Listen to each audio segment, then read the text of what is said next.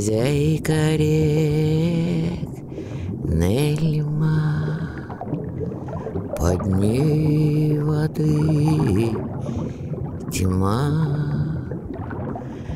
Тут живет рыба Нельма, над нею льдин глыба. Нельма, царь рыба.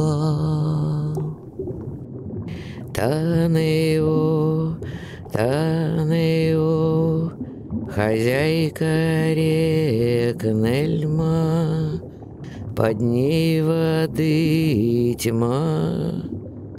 Тут живет рыба Нельма, над нею льдин глыба.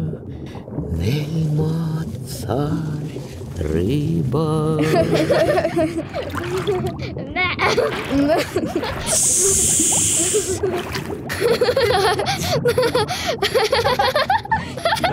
Тихо, тихо, детки.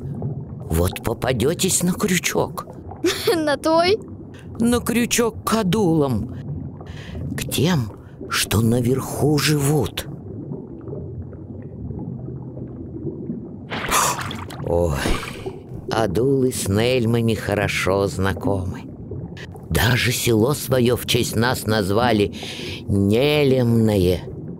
Очень уж они любят рыбачить. Могучий народ. Настоящие северяне. Их еще называют юкагирами, ледяным народом. Так это им ты шарф вяжешь, чтоб юкагирам холод был не страшен? Адулы холода не боятся. У них всюду снег, на обед мясо мороженое и даже реки с ледяными именами. Вот бы посмотреть! Нечего там смотреть. А вот послушать юкагирскую легенду можно. Чур не шуметь. А то бы как бы нас на берегу не услышали.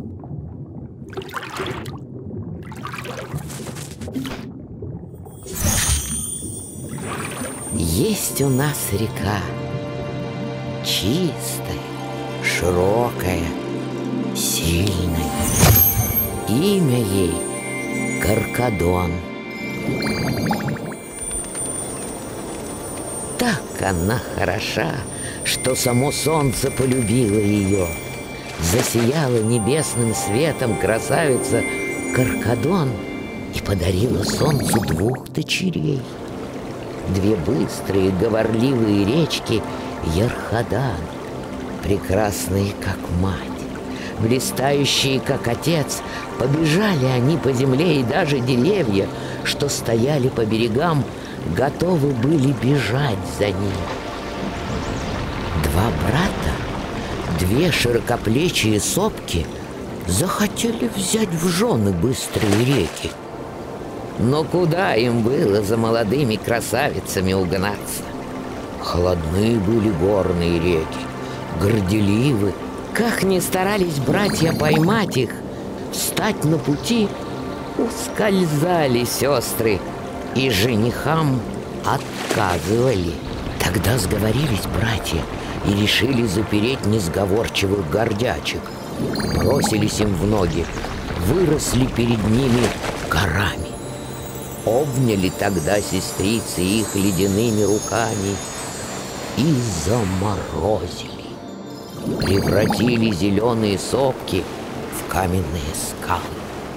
Обошли их, слились в одну студеную реку Ярхадану и помчались дальше. Насильно мил не будешь. Нрав у северян такой. Тут всякий свободу любит. И звери, и птицы, и даже реки. Ой! Он упал сверху? Кто это? И даже червяки! Я тоже люблю свободу! Не ешьте меня! Ой, это просто червяк. Я не просто червяк, я... э, э, я посланник. Из верхнего мира. Меня нельзя есть. Потому что ты ядовитый? А, потому что я ценный. Съедите меня, не узнаете продолжение легенды про Ярхадану. Вы, рыбы, только про реки все знаете. А что у нас на суше творится, вам неведомо.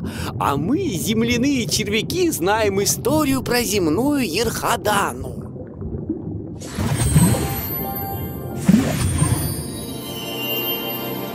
Родилась в одной деревне девочка, красивая, как северная речка, и дали ей имя в честь реки Ерхадана, что значит ледяная.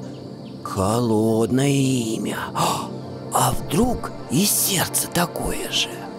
Выросла Ерхадана, но боялись к ней свататься. Помнили легенду про то, как женихи в камни превратились? Не было смельчаков вокруг. Но нашелся молодой охотник, полюбил горячо девушку, дрогнуло ее сердце в ответ. Ушел охотник в лес, обещал вернуться с большой добычей, богатым уловом и взять Ерхадану в жены. Но пропал охотник, нет вестей от него. А тут и ветры налетели, будто зима вернулась. Стали в деревне поговаривать, уж не Ерхадана ли тому виной? Холод накликала, от жениха хочет избавиться. Не выгнать ли ее из деревни? Зачем людям соседка с ледяным нравом? Не знали люди, что сердце у девушки оттаяло от любви и давно уж проливает она по суженому горячие слезы. Каждый день уходила Ерхадана на сопку и плакала.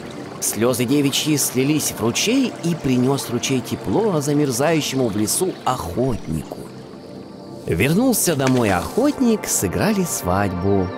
А в память о слезах Ерхаданы остался источник, что в поселке Талая. Он и зимой людям летнее тепло дарит.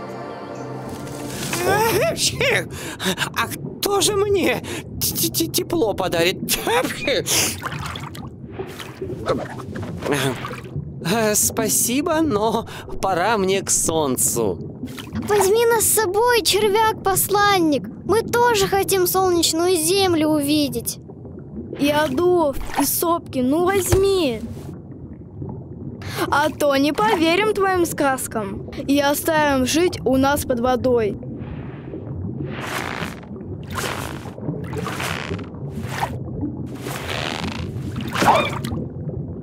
Не пущу одних! Нечего там смотреть!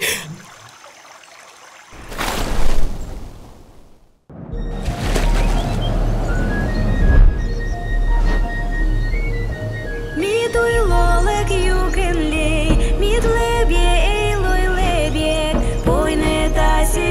Богиня лханила Будда